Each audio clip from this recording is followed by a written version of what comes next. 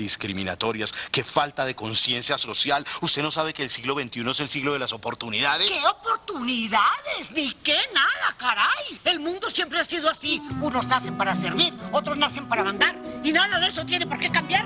¡Qué horror, Carlota Rosas! ¡Qué horror! ¿Dónde está su sensibilidad cristiana? Así se llama católica. ¿Por qué no va y se confiesa? ¿Por qué no le gusta que la gente progrese? Porque yo soy la que se está sobando, haciendo todo el oficio de la casa. Y por eso le va a cortar las alas a esa pobre muchachita. No sea egoísta. Ay, pobre muchachita, ¿y quién se conduele de la pobre Carlota? ¿Quién viene aquí a ayudarme? Bueno, yo reconozco que somos lochos en los oficios domésticos de la casa, pero eso no le da derecho para condenar a cadena perpetua en la cocina a ese pobre ángel. Antes le estoy haciendo un favor, poniéndola en el lugar que le corresponde.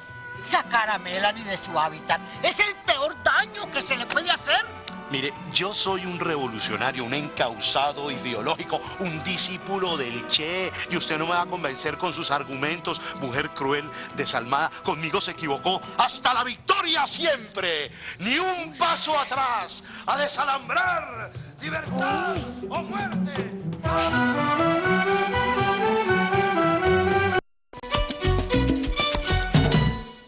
Permiso. Permisito. buenos días, buenos días. ¿Y esto qué es? Este es el consultorio de la profesora Mandrágora. ¿Una bruja? Una mentalista. Ah, mentira, una mentalista. ¿Se acuerda cuando le propuse que nos pusiéramos a leer la suerte? Sí, sí, sí, sí, sí. Me acuerdo y me ratifico. Yo no creo en estas pendejadas. Shh. Hombre, baje la voz. Que hay que respetar las creencias de estos incautos. Está bien, está bien, pero le repito, no me interesa que me lean la suerte. Yo no creo en esas vainas. Ni tiene por qué creer, yo lo traje para que conozca el negocio. Y, Bueno, ¿y eso para qué? Ay, Zenoncito, ¿usted sabe cuánto cobra esta bruja por cada consulta? Y ahora cuente ojos y divida por dos. Oro puro. Puro oro.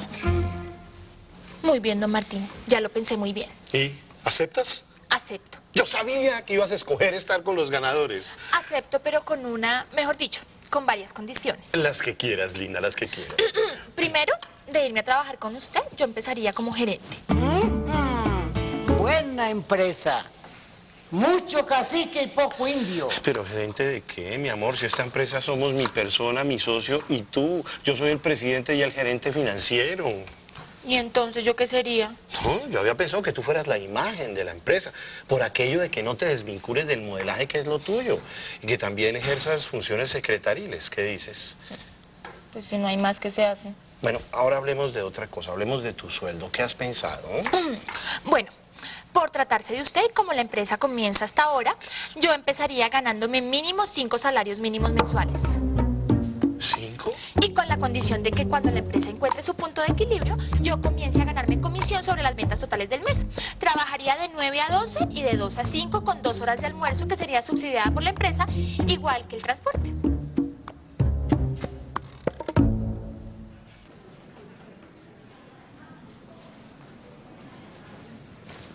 ¿Qué haces tú aquí? No me digas que tu cita con Verónica es en este restaurante. Sí, sí, ¿por qué? Pues porque yo quedé de verme con Elsa y con Amada aquí y, y- y no demoran en llegar. No, no, no, no puede ser. ¿Y cuándo arreglaron esa cita? Pues hace menos de una hora.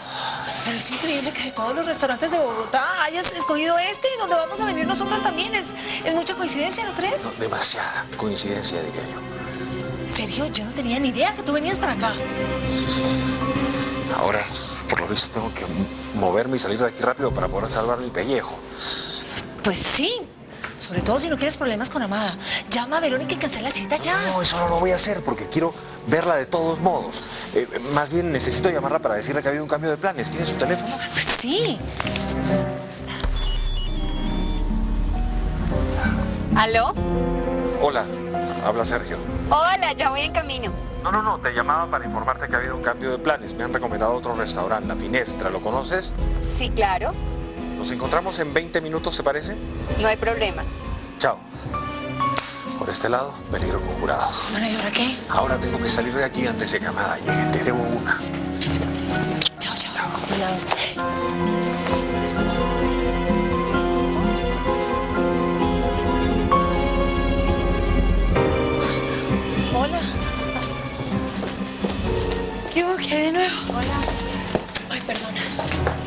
¿Y qué? ¿No ha visto a nadie conocido? ¿Y a quién esperabas ver o qué?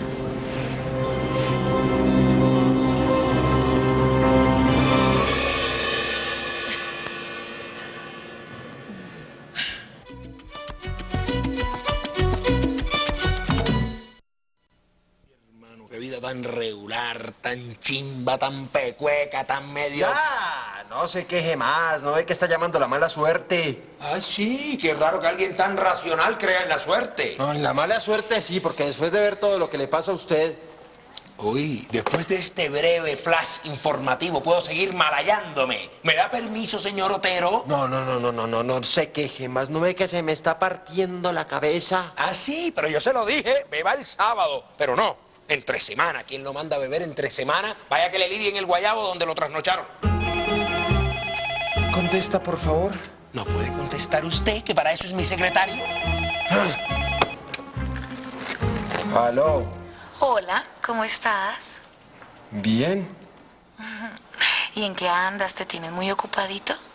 Eh, sí, como siempre. Pues yo no sé qué vas a tener que hacer con el chuchumeco ese de tu jefe, pero te vas a tener que venir ya a mi oficina. No, pero es que yo no creo que pueda. Pues vas a tener que poder, porque no te imaginas la deliciosura de almuercito que te tengo preparado. Ven rápido antes de que se te enfríe.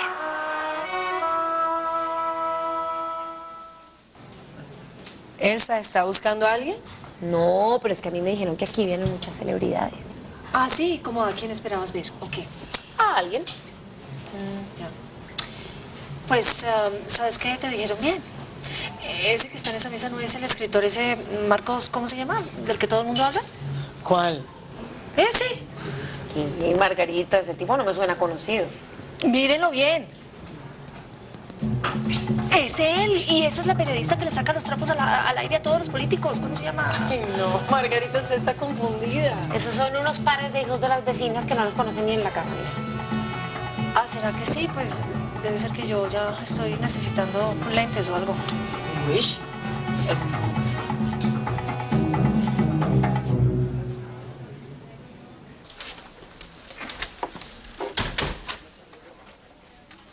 ¡Eh, Hansel! Hola.